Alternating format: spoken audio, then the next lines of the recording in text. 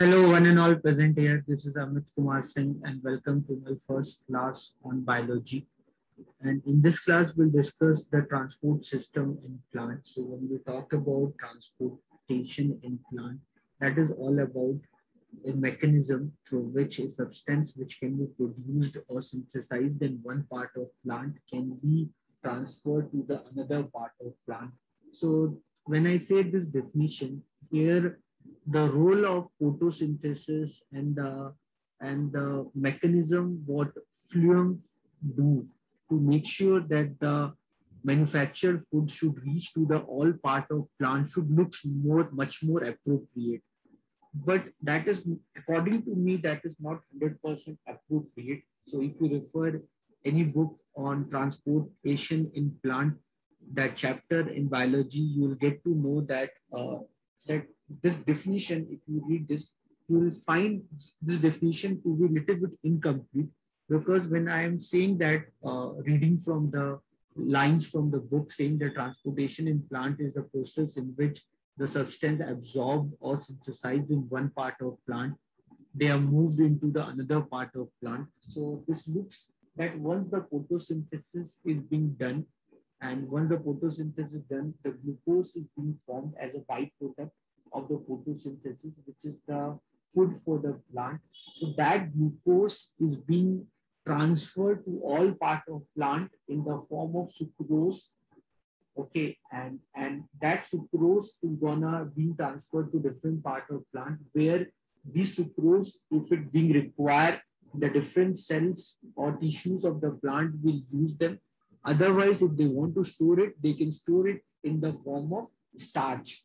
So when I say this definition, this definition looks that we're only talking about one part of mechanism where we are talking about once the food is being prepared, once the food is being prepared, then that food, when it is being transferred to all part of plant, which is basically a bidirectional flow, which is basically a bidirectional flow, which is basically one minute which is basically a bi-directional flow.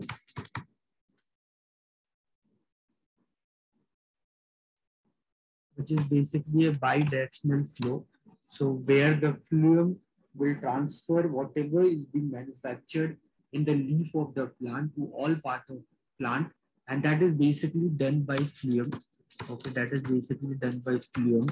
So, so that way, this, this definition looks much more appropriate the food what is being manufactured in the plant, that food is basically a glucose. And, and once the food is prepared, the phloem transfer to the all part of plant. So we have different component of phloem, either they are sieve tubes or either their companion cell or phloem parenchyma or phloem fiber. So they, they make sure that uh, once the food is prepared, it transferred to all part of plant. But transportation system is not only about the manufactured food what is being prepared that should be transferred to all part of plant and the work is done. So you need to understand that food what is what we are talking about that food which is your glucose. So that food is basically a byproduct of a process which is we called as a photosynthesis. And in this process you need majorly two raw material. One is carbon dioxide another one is water. So the carbon dioxide with water, when it reacts in with in the presence of sunlight in the leaf of the plant, why they are green in color? Because of chlorophyll, they make glucose and they release oxygen. So this carbon dioxide, what is requiring in photosynthesis is basically uh, diffused from the atmosphere uh, by the stomata, which is present in, in lower and upper epidermis of the plant cell. And that stomata, which is basically kidney-shaped structure, so protected by guard cell, that stomata absorb the carbon dioxide and then the, the leaf have the carbon dioxide. Sunlight is already uh, is there. So you know that sun, we uh, we have sunlight in the daytime. The plant manufacture the, the their food so we have play in plant cell, we have palisade mesophylls. So palisade mesophylls uh, basically they work to absorb the sunlight and that way the plant cells uh, of leaf, they get the sunlight So, and then the sunlight work is also done. But the next thing, what we are ignoring here in the definition, if I'm saying that, if I'm saying in the in the in the definition from the book saying that transportation in plant is the process in which the substance absorbed or, or synthesized in one part of plant is moved to the another part of plant. So here, here you need to look into the another component. That component is is the is the is the component which is being absorbed. So which is absorbed by whom? So it is being absorbed by whom? It is absorbed by the root system of the plant. So the root system of plant play very significant role here. So the root system of the plant play very significant role here where the what the root system basically do. This root system makes sure that the plant uh, or, or specifically I should say the leaf of the plant should get water. The waters and the nutrient, uh, nutrient, either it is macronutrients like uh, magnesium or phosphorus or potassium or nitrogen, whatever the majorly uh, they need nutrients or minerals, the, the root system makes sure that uh, those nutrients uh, should reach to the leaf of the plant. And, and how it reach to the leaf of the plant, how that is possible because we have a mechanism we have a mechanism which do that part. So the mechanism which do that part from from the root here to the leaf of the plant. That mechanism is basically done through a tissue which we called as xylem so some together of xylem plus phloem we called as a vascular bundle so these tissues which are basically called as conduction conductive tissue in the plant. We have xylem, we have phloem, and some together of them, we call them as a vascular bundle. So the vascular bundle uh, are, are the conducting system in the plant. They make sure uh, that, that the transportation of water, mineral, and the food uh, is being done from one end to the other end. So the raw material required for the photosynthesis, which is uh, which is water and mineral that is basically absorbed by the root hairs, root hairs, which are the part of root. So root hairs, uh, by the process of osmosis, they absorb water and by the process of active transport, they absorb mineral from the soil. And once those are being absorbed, then, then they have to work against the gravity. So thereby the, the, the, the, the molecular property of liquid uh, the theory of, of, of force of cohesion and force of adhesion, which results in the development of capillary force. And that capillary force, which ultimately creates transpiration pull in the plant, and that again that works against the gravity, and that ultimately make responsible that the water and mineral should reach to the end part of the plant which we called as the leaf of the plant, where ultimately the food for the plant is being manufactured. So I hope you are understanding this part more detailed on, on, on photosynthesis and, and to talk more about chlorophyll and to talk more about uh, stomata we'll do in the in the upper sections uh, like probably once we go to ninth class or maybe in 10th class we'll try to focus more on them. But for the time being, uh, the in this chapter, we only concentrate our discussion on the transportation system in plant where we'll try to talk about the, the, the, the, the role played pivotively by xylem and phloem. So xylem uh, basically uh, works unidirectional. When we say xylem, xylem basically works unidirectional. So from the from the root, it makes sure that the water and mineral should reach to the leaf of the plant. So the, the, the process through which water and mineral, the, the process through which water and minerals which are absorbed from the root hairs, the process through which the water minerals absorbed from the root hair, the process from which the water mineral absorbed from the root hair, absorbed from the root hair, reach to the reach, reach to the to the uh, you can say of the of the plant the process the process through which if I say the process through which water and mineral the process through which water and mineral which are being absorbed from the root of the plant reach to the leaf plant. That process is called that process is called ascent of sap. The process is called this process when we say this process is called ascent of sap.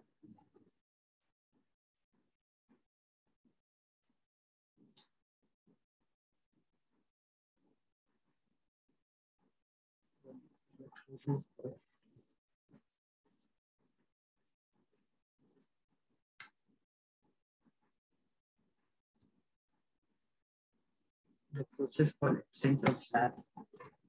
So you can remember this, this process called ascent of sap.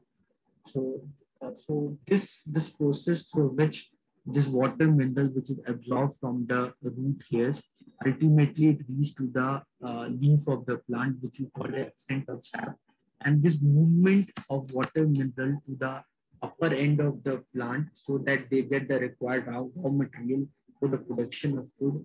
That movement is unidirectional, while the, the once the food is being prepared in the form of glucose, the once the food is prepared in the form of glucose, this is this is glucose. So once the food which is prepared in the form of glucose, so this food this this food which is being prepared in the form of glucose, this food ultimately, this, uh, this food which is prepared that is there in the form glucose, which is C6H12O6. And then, then what phloem do? Phloem works bidirectional. So phloem works bidirectional it makes sure that the manufactured food should reach to the all part of plant for the nutrition purpose. So the transport of manufactured food happens in the form of sucrose that that that that transfer happens in the form of sucrose and once once different tissues uh, reach the the manufactured food in the form of sucrose then specifically uh, specifically parenchyma and collenchyma uh, those um, parenchyma and collenchyma cells of the plant, what they basically do, uh, they try to store those foods. And when they're storing, they store them in the form of starch. So you can remember this is, I think this is very important. And this is also very important that xylem works on unidirectional flow of water in mineral, which we called as ascent of sap, which we called as ascent of sap. And, and the phloem uh, conduction, what phloem do, that is bidirectional. So from the leaf, whatever the food is manufactured, it goes to root, it goes to stem, lower part of stem. It may go to the upper part of, of stem. Anything, it, it, it the transfer happens in both the direction. So that that that that transfer happens through phloem. So phloems uh, is basically uh, made of four components. Phloem, uh, when we talk of phloem, uh, phloem tissue. So we when we talk of phloem tissue, Phloem tissues consist of four types of cells. Either they're sieve tubes, either they're companion cell, either they're phloem parenchyma, or either they're fiber. So not only they, they make sure that the food should reach to the all part of the plant, at the same time they also involve in the storing of food also. So so sieve tube, companion cell, phloem parenchyma, all are living. Okay, and, and while the phloem fiber is non-living and it's basically phloem fibers basically work in providing the mechanical support in the plant. So sieve tubes, you can see that it formed of cylindrical cells are devoid of nucleus. So sieve tubes don't have nucleus. So they have openings at their end, which we called as a sieve plates. So we that those openings uh, they have perforated ends end-to-end opening, which we call as sieve plates. And so sieve plate plates, the food uh, get transferred from one cell to another cell. Then you have companion cell. So companion cell uh, work according uh, with the with the sieve tubes in the in the transfer of food. Then we have phloem parenchyma, which is basically their living uh, living parenchymatic cells, which along with transfer mainly work for the storage of food. While you have phloem parent fiber, which are basically dead sclerenchyma cells. Okay, so they, they only work for the mechanical support for the plant. So the another part of vascular bundle are xylem. Xylem is basically made of four types of cells. So those are tracheid, those are vessels xylem parenchyma and xylem fiber. So trachea, vessels, and xylem fiber, they are basically non-living. They're made of, of sclerenchymatic cells uh, which have uh, while while tracheas have tapering end, so tapering end of, or very pointed end at uh, while while the vessels are basically they are like a tube-like uh, structure which are connected or joint end to end, basically responsible for the for the transportation part. Okay, while xylem fiber is more about giving um, like mechanical strength to the plant. Okay, so so the, they're basically more into into that component. While xylem parenchyma are living cell, they're small thick wall cell where they, they may sometimes if required they can do storing of food also. So I hope uh, you have have understood the components of vascular system, the components of vascular system. They are either xylem, they are phloem. You should know the, the difference between xylem and phloem, how they are different. So the difference of xylem phloem can be can be important sometimes. So you should be aware about the difference. Okay, you should remember that cells of from which xylem tissue is made up of. You should know the cells of which phloem tissues are made up of. So once you are aware about those parts and you know about transportation of food, like the food is manufactured in the form glucose, uh, it is being stored in the form starch and is being transferred from one end to another end in the form of sucrose. So that part you should be aware about then then the next thing uh, we, if we try to understand uh, we, we can understand that this water which is being absorbed this water which is being absorbed by the root hair of the cell these water these mineral ultimately they they work on in development of conduction system in the plant.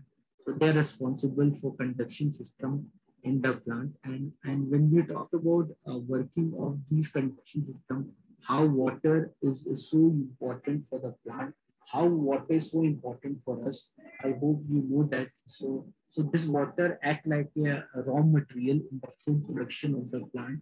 Okay, the same water ultimately makes sure that uh, that the that the minerals should reach to the all the ends of the plant because plant need lot of minerals that they, they they need micronutrient they need macronutrients like nitrogen, phosphorus, potassium, manganese. So there's a lot of a lot of nutrients are there which plant need. Uh, some nutrient in large quantity, some nutrient in small quantity. In case if they don't get that nutrient, ultimately uh, the it will hamper their growth and and though the and, the, and the deficiency of those nutrients can easily uh, can be visible uh, when we see the the growth of the plant uh, symptoms like uh, uh, symptoms like yellowing of the leaf or maybe you can find wrinkles in, in, in, in, in, in certain cereals. If you see observe wrinkles or if you observe purple and red spots uh, in, in plant that may be because of the deficiency of the nutrient which plant actually need. So the water, there are many nutrients are there, the many elements are there. So I'm not going to chemistry part of that to understand which are soluble in water, which are not soluble in water. So, but all the water soluble nutrient can easily transfer from one end to the other end uh, by, by water. So water play very important uh, role in the conduction of lot of a uh, lot of lot of components. So specifically a liquid or semi-liquid component to, to go from one end to the other end Okay, at the same time, water is actually, the, you know that everything is made of water and the water ultimately creates uh, a, a, a, a, series of, of continuous events through which the excess water which is keep getting absorbed by the root here should should get should get lost also. Otherwise how the uh, how the concentration of cell sap can be maintained in the plant. So cell sap is basically, uh, it is a concentration of amino acid, uh, sugar, and mineral salts. Uh, it's a concentration of these elements uh, which are present in the vacuole of the cell. Okay, and ultimately, and ultimately, when you see the cell sap, So this cell sap is actually responsible. When you see this cell sap, this cell sap is actually responsible for the movement of mineral. So the for the movement of mineral uh, in the plant. So when we talk about movement of minerals in the plant, that happens for a process called active transport. That happens through the process called active transport. And, and, and it is very important that the concentration of cell sap should be maintained and water play very important role here. So water is keep on getting absorbed from the from the from the soil by the root uh, roots root hairs. So these water which is keep on getting absorbed, they they move from one cell to another cell through the process of osmosis and where uh, these water molecules uh, have force of attraction between themselves. That force attraction is because of force of cohesion and, and then they stick to the walls of the xylem uh, through the force of adhesion. The force of adhesion and force of cohesion, they are the property of liquid. So when we study physics for chapter, molecular model of liquid, there we'll study the force of cohesion and adhesion that result into the viscosity and surface tension uh, in liquid.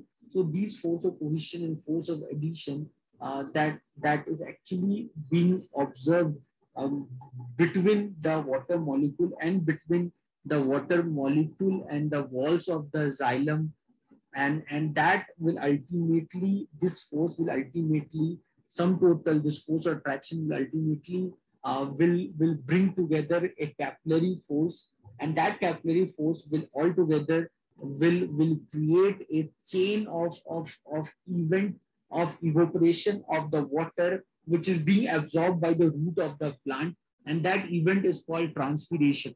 Okay this transpiration when we talk about transpiration transpiration creates cooling effect.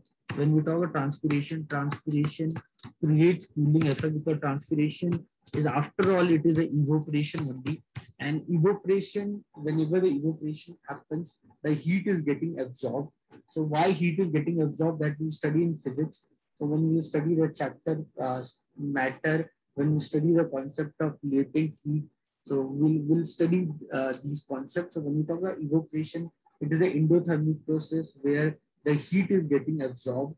And because, because of this transpiration, which is keep happening uh, in the plant cell, so with the excess water which is getting absorbed, get released into the atmosphere, that transpiration will, will bring cooling effect and that's why if you sit next to the sun during uh, during uh, afternoon time, you feel a little bit of coolness if you are near next to the plant because of evaporation. And evaporation is named in plants is called as transpiration, which is keep on happening. And, and that because of that transpiration, the, the cooler air try to settle down being heavier and that will create a cooling effect. So this transpiration, when we observe this transpiration in the name of evaporation in humans, then we can see a sweating. We sweat a lot in summer season and thereby it makes sure that our body temperature is maintained. So altogether, you can you can connect the dots here. So the water which is being absorbed by the root here, that water play very significant role to make sure that the nutrients should reach to the one cell to the another cell so, and it, it also makes sure that the manufactured food should reach to the one, one part where the food is manufactured to the another part where the food is getting delivered uh, very easily through the component of, of two partners, what, what they have. One is xylem and other one is phloem. Even any doubt?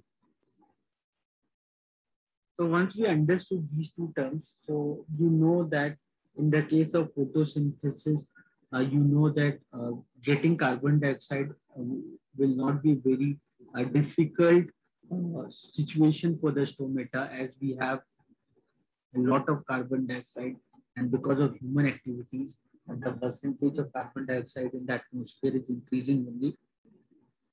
But at the same time, when we look into the scenario around us, uh, we know that ultimately carbon dioxide uh, is a is a greenhouse gas, and it will it will be responsible for the increase of temperature in our atmosphere. So anyway, we're not going to much discuss about geography part here. So you know that along with carbon dioxide, the other nutrient which is required for the photosynthesis is water. And this water is keep on getting absorbed by the root hair of the plant. So when you see uh, the root hair of the plant, so in the root hair of the plant, you have a main root.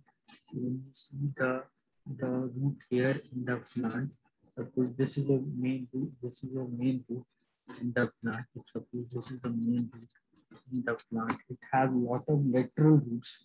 It has lot of lateral roots. So they have a lot of lateral roots. It has lot of lateral roots.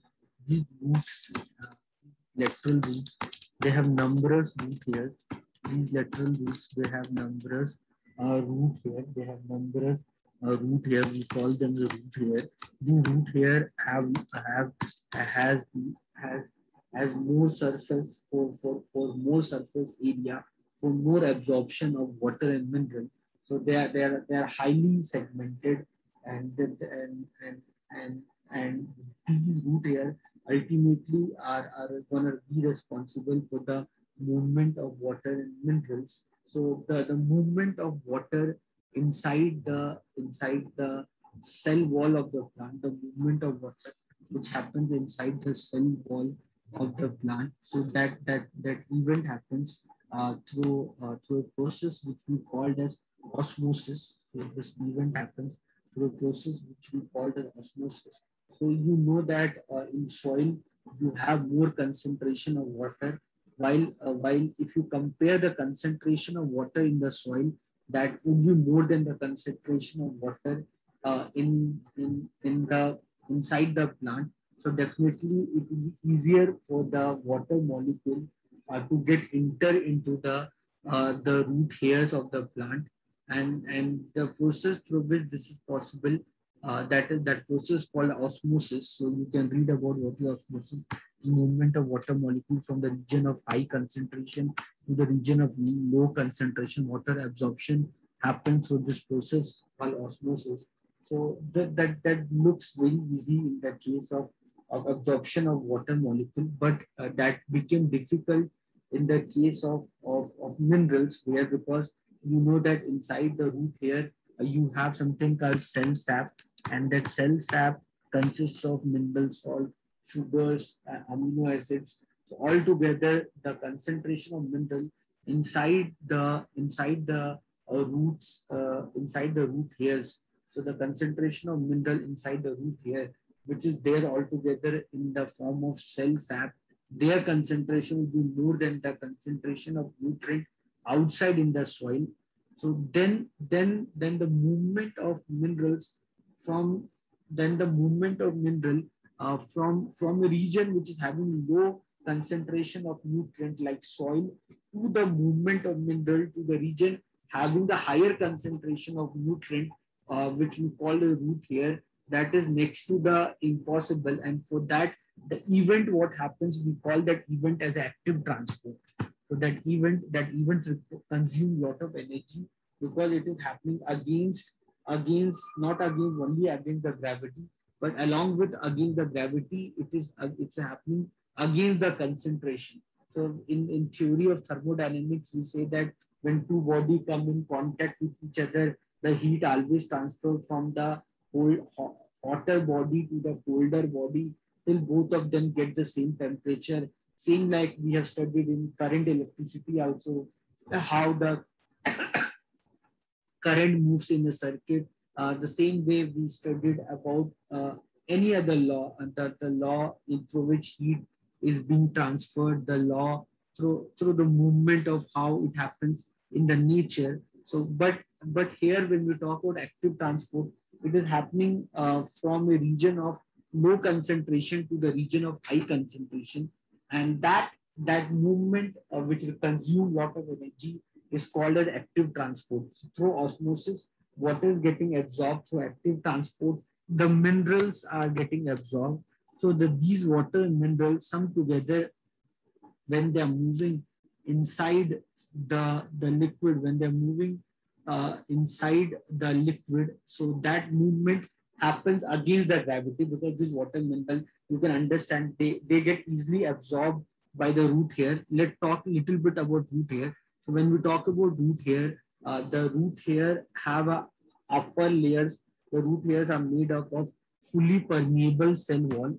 Uh, the, the, the root here are made of fully permeable cell wall, which allows any soluble component to, in, to get inside uh, the, uh, the, the root here. And then, uh, then it is then it is followed by semi-permeable cell membrane. So cell wall, which is fully permeable, it allow every every constituent to enter inside the root here. But then it then it those those are come checked by semi-permeable cell membrane. So which only only allow water molecule to get inside. So this this semi-permeable cell membrane does only allow water molecule to come inside. So because of that, easily the water molecule got absorbed uh, and that process is called as osmosis. While there's, there's another process which we call as active transport, through that the minerals get absorbed. The minerals get absorbed and ultimately once the water mineral both get absorbed, then they reach to the upper part of the plant while, while working against the gravity, uh, where that force which is being created, that force is the capillary force, uh, which ultimately brings transpiration pull. Uh, and that transpiration pull is because of the force of addition and cohesion, which is the nature of the liquid molecule. And so that ultimately, once, once these components which are being manufactured ultimately once once the flow of these components happens toward the end of the leaf ultimately uh, this water mineral along with them uh, they carry a lot of nutrient and which make sure that the, all the end of the plant get those nutrients along with that the, the water also helpful uh, to transfer the manufactured food which is there now in the form sucrose to reach all part of the plant so that all part of plant get benefit from the manufactured food which is being manufactured by the leaf of the plant. I hope you're understanding here the very important component uh, which you need to study, uh, you need to understand is the transpiration. The transpiration is the continuous loss of water, which is a continuous loss of water from the leaf of the plant in the form water vapor from the aerial parts of the plant and ultimately ultimately transpiration uh, make sure that that uh, that uh, what transpiration makes sure it makes sure that the that the uh, water vapor is keep on getting released into the atmosphere and ultimately these water vapors come together they will bring rain and ultimately being important play a very important role in our survival uh, at the same time, when we talk about xylem, uh, phloem, parenchyma, so when we when we talk about uh, these components, uh, ultimately they they are responsible uh, for the movement of water and mineral, and and these movements keep on happening. And you need to understand uh, that uh, that that that that transport is all about sending or transferring the absorbed nutrient along with the food synthesized. So these absorbed nutrient, which is getting absorbed from the uh, root hairs of the plant, that that ha that happening keep on every time. And so transpiration, what transpiration basically uh, makes sure the transpiration basically makes sure that the that the excess water should always get released from the end of the plant so that the these excess water should not impact the, the, the growth of the plant in any possible way. Where the events like uh, temperature or sunlight or wind or humidity can impact the components of the transpiration because more is the sunlight or more is the temperature or more wind is flowing, faster would be transpiration. While if you have, have, have a humidity in the air, automatically the rate of transpiration get decreased because of that. So I hope uh, you people have understood what all I have done so far in this class. So these much theoretical knowledge, if we have, then it will be more than enough for us to finish this chapter. Very easy chapter that this is the first chapter in biology, which we can easily understand without much pain in, in our system. And ultimately, uh, this notes, if you refer my notes, uh, understanding this event also become very easy for you. So guys, I hope uh, that you have understood what all I have done uh, for you in this session. If you have any doubts, feel free to ask your doubts and be in touch with me through your comments. And make sure you subscribe to my channel if you're not subscribed. Thank you everyone. See you all in next class.